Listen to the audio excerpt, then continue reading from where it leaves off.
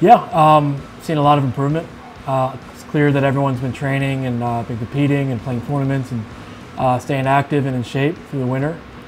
Um, yeah, I mean we've got you know we've still got a good ways to go. You know we've got a lot of um, you know, different things in doubles we need to install, get everybody familiar with. We have a lot of freshmen, uh, clearly, and a lot of new players. You know we have seven freshmen on the men's side, uh, you know a number on the women's side as well that all need to sort of get acclimated to playing college doubles and our brand of doubles and um, you know and just sort of continue to uh, to feed off the experience of all our upperclassmen and uh, sort of assimilate into that. But we're, we're on our way, um, but we still got a lot of work to do these next few months.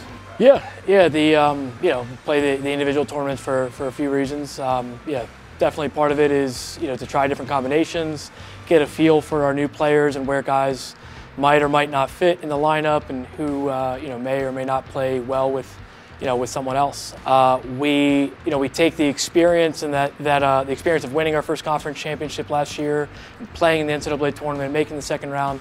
Take that with us. You know we, we that'll always be you know great memory and stuff. But that was last year. You know we and that doesn't it doesn't win us any matches this year. It doesn't give us a lead to start any match. Um, you know so we we take that experience with us, but we don't live off of you know, last year's conference championship. That doesn't mean that, you know, it's any more or less likely we win it this year. So we got to be just as hungry as we were, learn from last year's team. Yeah, I mean, we've got, we've got, in the women's side especially, we're, we're really uh, upperclassmen heavy. You know, we've got Jenna and Kelsey at the top of the doubles lineup where they've been, you know, for four years. Um, you know, Nina Brett's uh, in the middle of our lineup, probably in singles and doubles.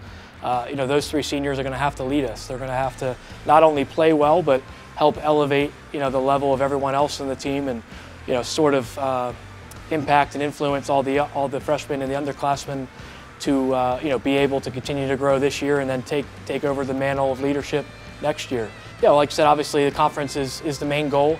Um, that being said, we you know while that's always in the back of our mind, you know we're really uh, you know about the process, getting a little bit better every rep, every day, uh, every match. You know, and if we can keep that mentality day to day, from lift to lift, practice to practice, uh, weekend to weekend, then you know the uh, the conference championship and, and our other greater long term goals will ultimately take care of themselves.